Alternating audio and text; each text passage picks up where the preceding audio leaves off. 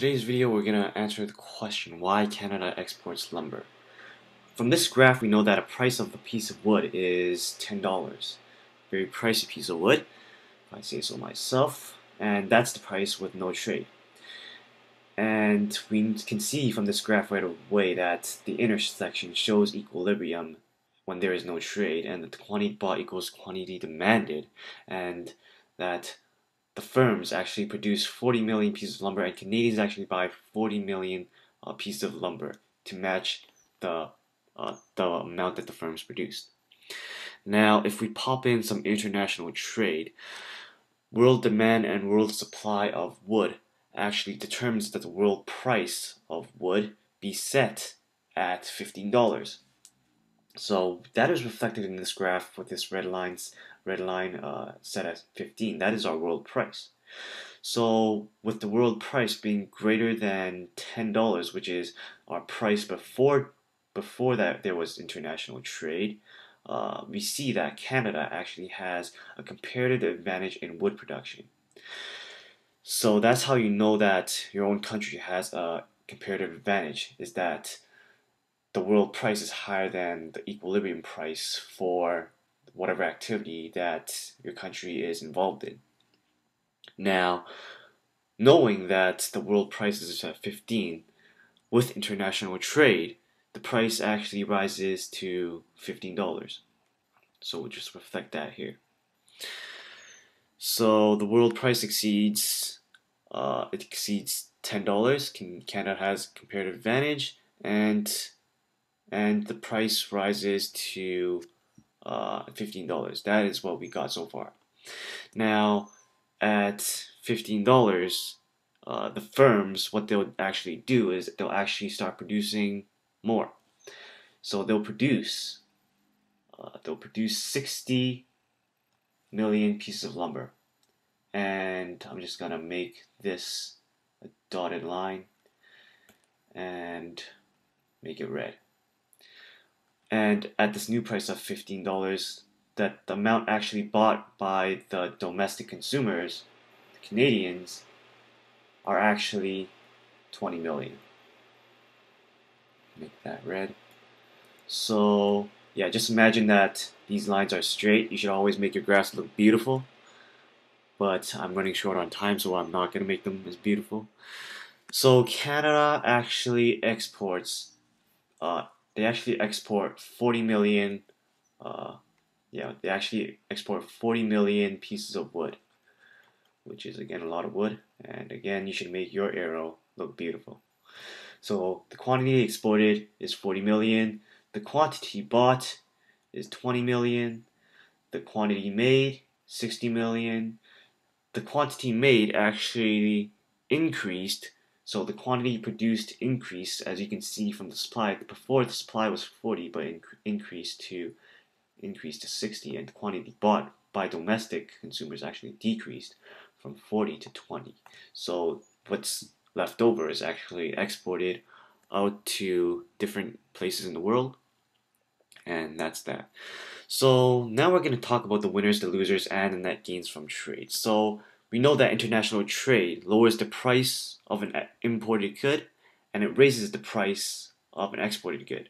We see the we've we've seen this process in the last two graphs that we went through in this video and the last video.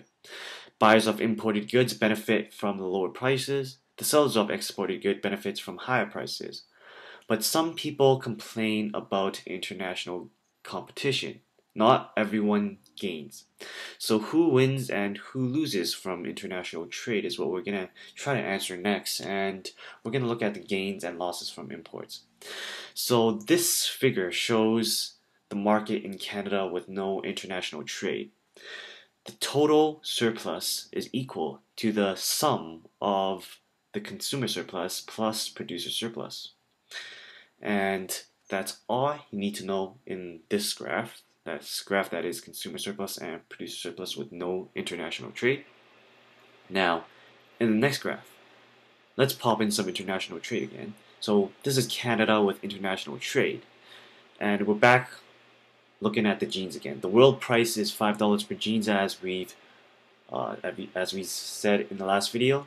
Now, the consumer surplus, with this world price uh, imposed, the consumer surplus expands from A, which is uh, which is the area of the consumer surplus that we had before. This was the before, and this is the after. Consumer surplus expands from A to A plus B plus D, as I've listed here. And consumer surplus, or the producer surplus, actually shrinks. So before the producer surplus was this blue area that I have here. It actually shrinks down to this small little blue area that I have here when we include the world price. So B is transferred from producers transferred from producers to consumers. And D is an increase in the total surplus and we also call it a net gain or it is also the net gain from imports. Now let's take a look at the gains and losses from exports. So again this is what we have with no international trade. The total surplus is equal to the consumer surplus plus the producer surplus. That's all you need to know from that graph. Now in this graph, that's where we'll pop in some uh, international trade, some some international trade, some exports. Now we know that the world price of wood is actually $15 now, so the consumer surplus in this case shrinks instead of the producer surplus. So remember this was consumer surplus before, now the consumer surplus shrinks to this small little area of A. Producer surplus, which we have here before international trade, actually expands to include the area C plus B plus D so we've already known that consumer surplus shrinks to area A, producer surplus expands to area C plus B plus D. So what actually happens is B was transferred from the consumers to the producers, and D is actually an increase in total surplus, and again, it is also the net gains from exports instead of imports. And Let's just start off with international trade restrictions. So governments restrict international trade to protect domestic producers from competition. And they actually use four sets of tools. They use the tariffs, import quotas, and some other import barriers and export subsidies. And we'll really go into detail with tariffs and import quotas and not so much with other import barriers and export subsidies. But that's for another video. Uh, please rate, comment, subscribe if you haven't already, and I'll see you guys next time. Thanks for watching.